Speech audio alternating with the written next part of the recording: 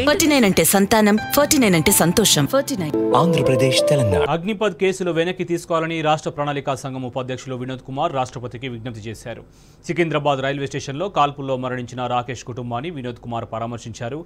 ఆందోళనల్లో arrest చేసిన army అభ్యర్థులను విడుదల చేయాలన్నారు. భవిష్యత్తు ఆర్మీ రిక్రూట్మెంట్లో వారికి అనుమతినివ్వాలని కోరారు.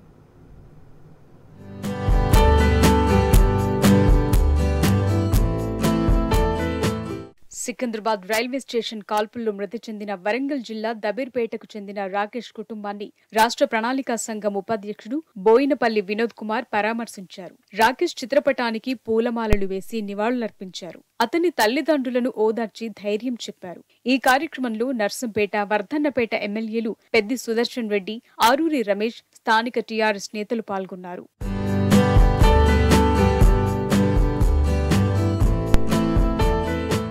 అగ్నిపథ్ పథకానికి వ్యతిరేకంగా నిరసన తెలిపిన అభ్యర్థులను విడుదల చేసి వారిపై పెట్టిన కేసులను ఉపసంహరించుకోవాలని వినోద్ కుమార్ రాష్ట్రపతి రామ్నాథ్ కోవింద్కు విజ్ఞప్తి చేశారు. భవిష్యత్తులో జరిగే ఆర్మీ రిక్రూట్మెంట్లో వారికి అవకాశం ఇవ్వాలని కోరారు. మూడేళ్ళుగా ఆర్మీ పరీక్ష కోసం ఎదురు చూస్తున్న అభ్యర్థులు అగ్నిపథ్ పథకంతో ఆందోళనకు గురై భావోద్వేగంతో నిరసనకు దిగారని ఇది క్రూరమైన కుట్ర కాదని స్పష్టం చేశారు. మరి మోడీ గారి ప్రభుత్వము ఏం చెప్తున్నది? ఫైవ్ ట్రిలియన్ ఎకానమీ అవుతుంది భారతదేశం అని చెప్పేటప్పుడు పెన్షన్ల కోసం భయపడి మీరు సైన్యాన్ని రిక్రూట్మెంట్నే తగ్గించుకోవడం అనేది ఎంత దివాలా కోరు ఆలోచనో నేను చెప్పదలుచుకున్నాను పాకిస్తాన్తోని చైనాతోని నిత్యం మనకు ఇబ్బందులే ఉన్నాయి. ఎప్పుడు దాడులు జరుగుతాయో ఎప్పుడు ఏమవుతుందో తెలియదు ఇరవై నాలుగు గంటలు కనురెప్పగా ఎట్లా కాపాడుకుంటుందో కంటిని అట్లా కాపాడుకునే పరిస్థితి వచ్చింది ఇవాళ దురదృష్టవశాత్తు పాకిస్తాన్ స్వాతంత్రం వచ్చిన నాటి నుండి మనకు మిత్రదేశంగా లేదు. చైనా దుందుడుకు వాదం మనకందరికీ తెలుసు. గత రెండు సంవత్సరాల క్రితమే మూడు సంవత్సరాల క్రితమే ఎలాంటి ఇబ్బంది పెట్టిందో తెలుసు. పోయిన సంవత్సరం పెట్టిన ఇబ్బందిలో కూడా గాల్వానా హెడ్స్ రోజు చేసినటువంటి మన సంతోష్. మన బిడ్డనే తెలంగాణ బిడ్డనే ప్రాణాలు కూడా కోల్పోయాడు దీంట్లో మీరు రానున్న రోజులు కూడా పెన్షన్ల బిల్లులు తగ్గించుకోవాలి అని చెప్పి ఉన్న సైన్యాన్ని ఊడగొడతామంటే ఇంతవరకు సబబు. ఇలా భారతదేశ బడ్జెట్లో పదిహేను శాతం పెట్టుకుంటే తప్పే ఉందండి? రేపు మనకు భయంకరమైనటువంటి శత్రు దేశాలనే మనకు. China and Pakistan. చైనా నుండి పాకిస్తాన్కి ఆరు సిక్స్ లేన్ రోడ్లు వేసుకుంటున్నారు వాళ్ళు. చైనా నుండి పాకిస్తాన్ మీదకి వెళ్ళి అరేబియా మహాసముద్రం ఓడరేవు దగ్గరికి సిక్స్ లేన్ నేషనల్ హైవే వేసుకుంటున్నారు వాళ్ళు జాతీయ రహదారులు వేసుకుంటున్నారు. అంటే యుద్ధం జరిగితే ఎప్పుడు జరుగుతుందని చెప్పలేము. ఏ కారణంతోనైనా జరగవచ్చు. మరి నూట ముప్పై నలభై కోట్ల జనాభా ఉన్నటువంటి మన దేశము శత్రు దేశానికి నువ్వు లొంగిపోతే లేదా ఆ దాడులకు తట్టుకోలేకపోతే భారత దేశంలో జనాభా కోట్లాది జనాభా నష్టపోతారు. మోడీ గారి ఆలోచనలు ఒకటి కాదు. మీరు ఆయన తీసుకున్నటువంటి ముఖ్యమైన నిర్ణయాలు డిమానిటైజేషన్.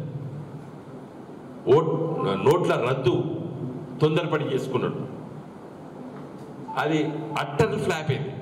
ముఖ్యంగా పేదవాళ్ళు ఎంత సపోర్ట్ చేసారు ధనికులు లేకపోతే దొంగ నోట్లు ముద్రించిన వాళ్ళు పన్ను ఎగవేత చేసి డబ్బులు మూటలు కట్టుకున్న వాళ్ళు ఇవందరికి ఇబ్బంది పెడుతున్నాడు మోడీ అని పేద ప్రజలందరూ కూడా సపోర్ట్ చేసారు ఆ డిమానిటైజేషన్ నోట్ల రద్దప్పుడు కానీ తేలినేది పచ్చి మోసం అని తెలిపింది. జిఎస్టీ కూడా అట్టర్లీ ఫెయిల్ అయిపోయింది. ఆయన తీసుకున్న నిర్ణయాలన్నీ కూడా దివాలా కోరు నిర్ణయాలు. వ్యవసాయ చట్టాలు మూడు చట్టాలు పార్లమెంట్లో చర్చ లేకుండా పాస్ చేసిండు. పార్లమెంట్లో మెజార్టీ బ్రూట్ మెజార్టీ లేదని చెప్పి. కానీ ఏమైంది మళ్ళీ? క్షమాపణ చెప్పి వెనుకకు తిరిగాడు. ఇంకో ఇది కూడా అగ్నిపతి కూడా క్షమాపణ చెప్పక తప్పదు మోడీ గారికి. ఎందుకంటే నువ్వు తీసుకున్న నిర్ణయం దివాలా కోరి నిర్ణయం. ఇవాళ కాకపోయినా నువ్వు ఏడాదికో రెండేండో చెప్పలేసుకోక తప్పదు. ఏది? మోడీ గారు చెప్పలేసుకోక తప్పదు. సైన్యంలో చేరిన రోజే నా ప్రాణం కట్టే మిన్న నా ఉద్యోగము అనుకోవాలి. నీకు నాలుగేళ్ళ ఉద్యోగం అంటే వాడు ప్రాణాన్ని ఎందుకు తాకట్టు పెడతాడండి? మెదడు లేని ఆలోచన ఇది. మెదడు ఉన్నోడు ఆలోచించేది కాదు ఇది. ఒక వ్యక్తి నేను ప్రాణం తీసుకోవడానికి రెడీగా ఉన్నా అంటే కొన్ని ట్రైనింగ్స్ ఉండాలి. యుద్ధభూమి అంటే తుబాయి పట్టుకొని తిరుడు కాదు. నా ప్రాణం పోయినా కూడా నేను ముందుకెళ్ళాలి. నేను ప్రాణం పోగొట్టుకుంటున్నా అని చెప్పి అడిగేయాలి ముందుకు. నాలుగు సంవత్సరాలు ఉద్యోగం ఉంటాడు ఎందుకు చేస్తాడండి ఇది దేశభక్తులు తీసుకోవాల్సిన నిర్ణయం కాదు. అందుకే మోడీ దేశభక్తుడు కాదని చెప్తున్నా నేను. ఈరోజు గట్టిగా చెప్తున్నా నేను. Modi is not a patriot ఈ దేశ రక్షణ కోసం త్యాగం చేసేటువంటి సైన్యాన్ని ఇలా నువ్వు నిర్వీర్యం చేసినావు. నీ డిమానిటైజేషన్ లాగా నీ వ్యవసాయ చట్టాలాగానే ఇది ఒక దివాలా కోరు నిర్ణయం అని చెప్తున్నాను ఇలా భారత సగటు ఏజ్ ముప్పై రెండు సం- ముప్పై ఏడు సంవత్సరాలు ముప్పై ఏడు రెండు సంవత్సరాలది ప్రపంచం లోపల సగటు యావరేజ్ ఏజ్ ఇరవై ఆరు ఇరవై ఏడు ఏళ్ళు ఉన్నది. కాబట్టి మన భారత సైన్యం ఏజ్ తగ్గించుకోవాలి. కాబట్టి పిల్లలను లక్షల మందిని రిక్రూట్ చేయాలి వాళ్ళని ఎలగొట్టాలి వాళ్ళ కొత్తలను పట్టుకురావాలి. ఏం నిర్ణయం అండి ఇది? నాలుగు సంవత్సరాలు వెళ్ళి ఇంటికి వెళ్ళగొడతా అనేటువంటి వాడు ప్రాణం ఎందుకు తీసుకోవాలి? నాలుగు సంవత్సరాలు ఇంటికి వెళ్ళగొడతా అంటే ఏం చేస్తారు ఇది? అమెరికాలా ఫ్రాన్స్లా ఇటలీలా యూరోప్లో ఇట్లే ఉంటారని చెప్తాడు. నేను చెప్తున్నాను అమెరికాకు ఉన్నటువంటి బార్డరు కెనడా. వానికి వానికి శత్రుత్వం లేదు మిత్రుత్వం.